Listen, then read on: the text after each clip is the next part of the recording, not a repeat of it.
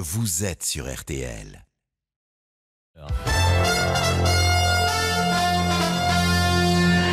Rebonjour Alexandre. Rebonjour Vincent, bonjour à tous, c'est reparti pour un tour.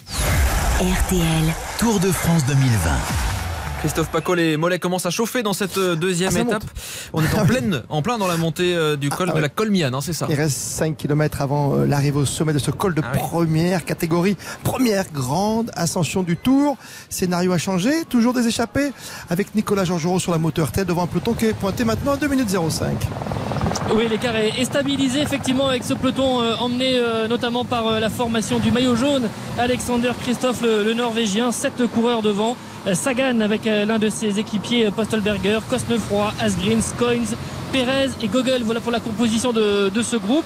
Euh, premier donc euh, col de première catégorie et passage donc à euh, 1500 mètres. On, on sent évidemment la température qui commence un petit peu à, à descendre et pas trop de monde dans ce col. On sait que les autorités ont bloqué l'accès. Il n'y a pas trop de, de monde sur le côté pour euh, encourager les, les coureurs. Écart stabilisé, deux minutes. On reste évidemment que les mesures barrières en tête, vous l'avez bien compris Alexandre de Saint-Aignan. Prochain point dans une demi-heure quand nous serons euh, après les premiers lacets de la descente de la Colmiane, ici après ce premier pôle. Col passé bien sûr, le col du même nom, le col éponyme, col de la Colmiane, col de première catégorie.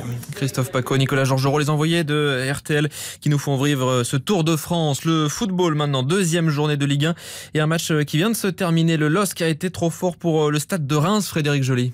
Bomba a permis à Lille de s'imposer 1 à 0. Lille s'est montré solide et n'a laissé aucun espace à cette équipe rémoise. Et le LOSC repart donc avec les trois points de la victoire de Reims. Et puis désormais votre multiplex euh, c'est le dimanche euh, après-midi avec le coup d'envoi de quatre matchs en simultané direction Saint-Étienne qui reçoit euh, Lorient dans les gradins de Geoffroy Guichard, Serge Puyot. Oui, c'est parti depuis euh, une minute. Ici, euh, toujours 0-0. Les Verts qui retrouvent la compétition un peu plus d'un mois après leur finale de Coupe de France perdue 1-0 contre le PSG au Stade de France euh, fin juillet. Une reprise devant à peine 5000 personnes cet après-midi au Stade Geoffroy Guichard. Règles sanitaires obligent, donc autant dire que le célèbre chaudron ne va pas trop bouillir aujourd'hui. Et juste avant le coup d'envoi, il y a eu une minute de silence en hommage à Robert Herbin, l'ancien mythique et entraîneur et joueur des Verts, décédé le 28 avril. 0-0 ici entre Saint-Etienne et Lorient. Et on vous retrouvera euh, dans une heure Serge Puyot. Euh, Trois autres matchs euh, viennent de commencer. Angers, Bordeaux, Metz, Monaco, Nantes, Nîmes. Tous les matchs ont commencé et pour l'instant 0-0 partout. Ce soir, Brest reçoit Marseille. Rencontre à vivre dans RTL Foot. Ce sera à partir de 20h. RTL, radio guidage. Retrouvez l'infotrafic avec Total Direct Énergie, votre fournisseur d'électricité et de gaz moins cher. La route, il y a du monde hein, ce dimanche à deux jours de la rentrée des classes. Sarah Loubacouche. Trafic euh, ralenti notamment dans la vallée du Rhône.